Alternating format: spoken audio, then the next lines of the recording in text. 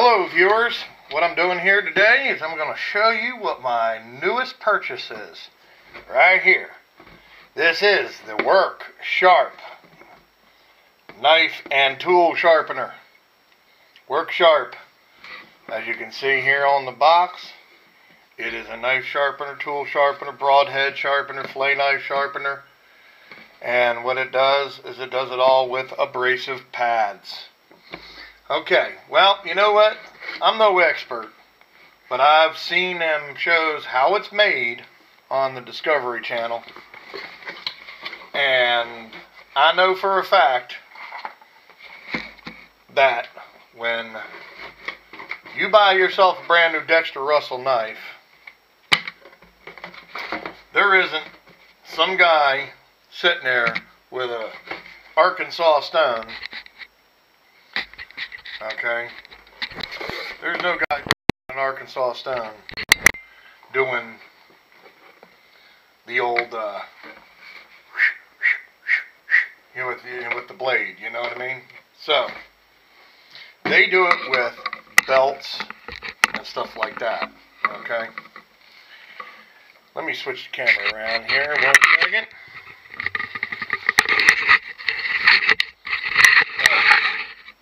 When they're doing it with belts, they're doing it with big belts, burnishing or polishing the blade and everything. Well, guess what? That's what this does. So let me plug it in. I am going to show you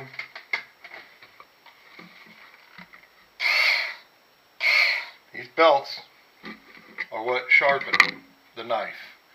Different grades of belt, coarseness. Okay, I got some extra belts right here. And uh, here it shows it.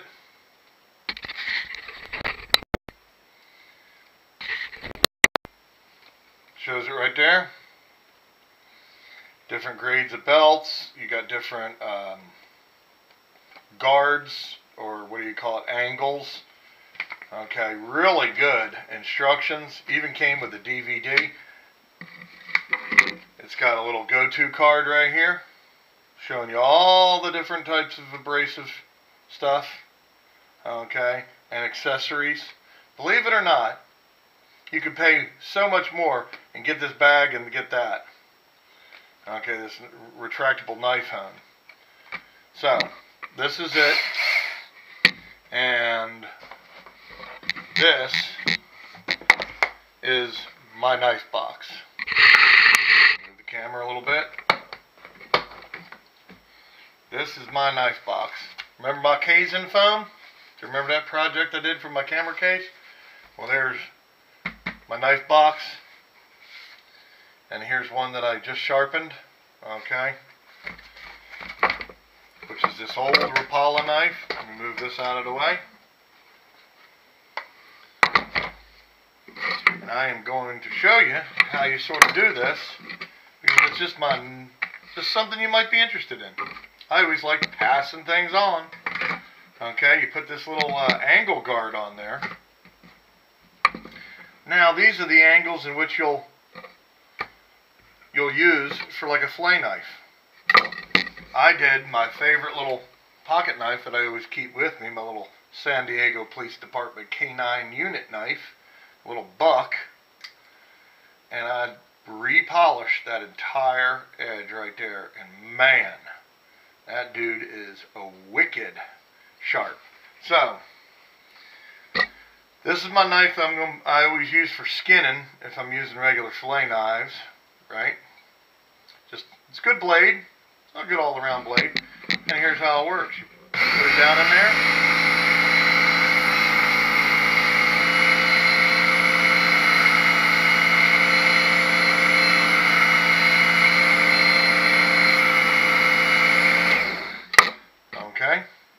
dude is now wicked. And you, you change the blades by doing this. You, here's It's just a tensioner. Put it around the here. See, now I'm using a real fine blade right there now. And then all of a sudden, you can change out the blades just real quick. Or not, I keep saying blades, the belts. Change out the belts, Okay, and I'm going to show you something here. I'm going to get a little composition newspaper, here. And they seem to do this a lot on sharpening YouTube videos. Okay. Let me turn my screen on the camera.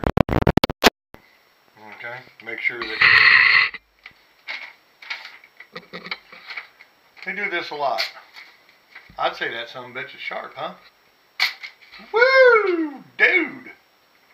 Let me get let me get the little fact. I think it works best with the factory angle here. Okay, so that ought to prove something to you. I think that son gun right there can take care of a trout, no problem. Take the skin right off of them. Yeah. Okay. Well, that's how it works. And it's got this guard here that you can slide on. Slide it on like that.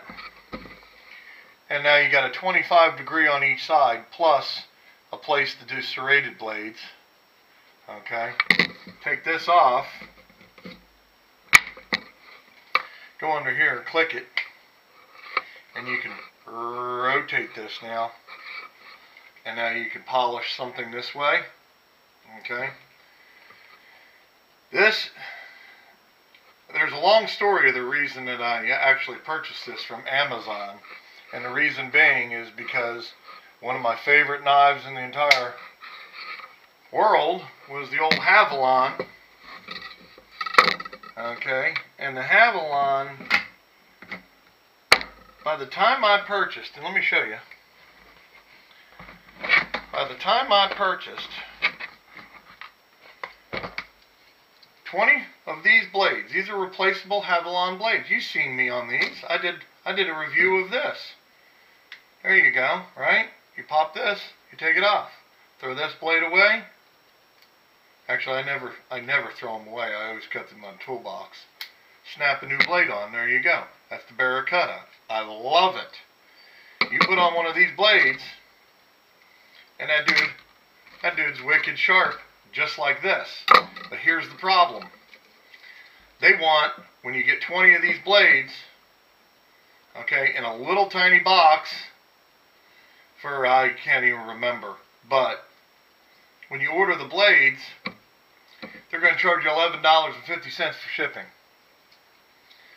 Boy, did I call them to the carpet on that. I called the company and complained that they're sending this these a little box of blades, 20 of these stacked up in a little plastic.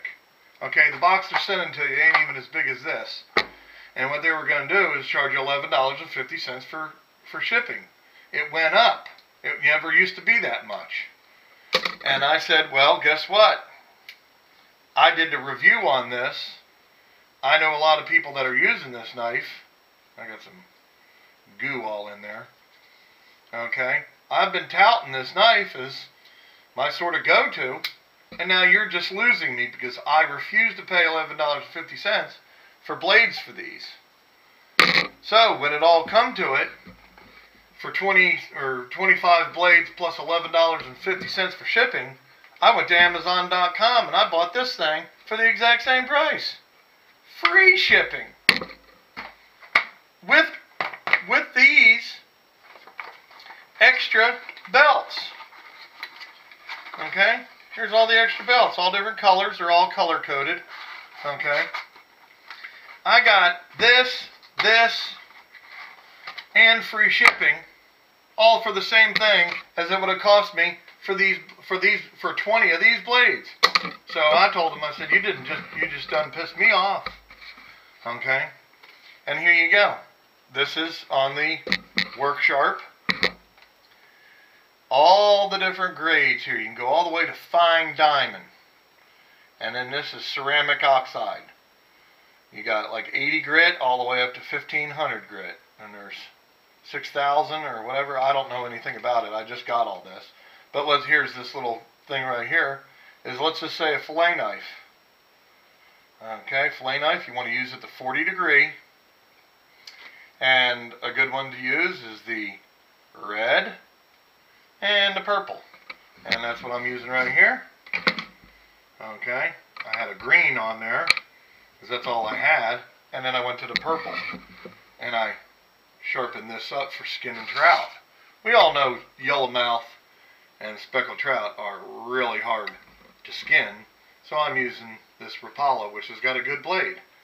Got a couple little nick right there, but you saw how sharp this thing is. So, there's my new purchase.